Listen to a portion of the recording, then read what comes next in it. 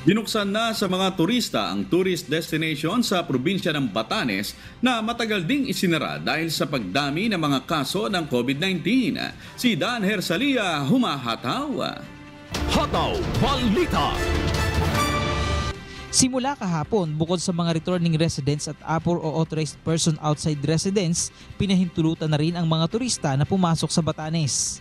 Bagaman limitado lang sa 50 turista ang papayagang bumiyahe kada linggo sa trial period na nagsimula kahapon na tatagal hanggang June 30, dapat fully vaccinated ang mga turista. Dapat ding magpabook sa mga DOT accredited tour operators, PGB tour guide at DOT accredited accommodations ang mga papasyal sa isla.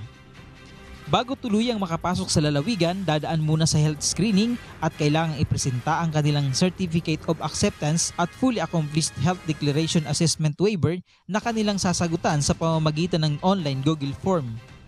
Ang mga turista na makikitaan ng sintomas ng COVID-19 ay sasailalim naman sa libreng COVID-19 test at kung ito ay magpositibo ay i-isolate sa libreng mga designated government isolation facility. Patuloy pa rin hinihikayat ang lahat sa pagsunod sa minimum health protocols kagaya ng pagsusuot ng face mask at paghuhugas ng kamay. Para sa mga karagdagang impormasyon, maaaring makipag-ugnayan sa Provincial Tourism of Batanes sa kanilang numero na 0928-230-5933 o magpadala ng inyong mensahe sa kanilang email account na batanesacceptance at gmail.com. Diyos ang aming sandigan, serbisyo publiko ang aming pinahahalagahan.